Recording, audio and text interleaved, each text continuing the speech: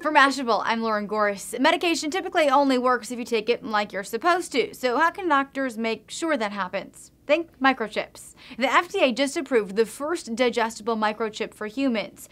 Proteus Digital Health has created a chip that's safe to embed in a number of pharmaceuticals. It's a seriously tiny square of silicone, about the size of a grain of sand, and there's no battery required because you're the battery. Stomach acid activates the magnesium and copper in the chip to produce slight voltage. The signals are transmitted to a wearable patch and from there to a cell phone. The sensor itself records the time of medication and the capsule's specific ID. The patch tracks things like heart rate, activity, and rest patterns.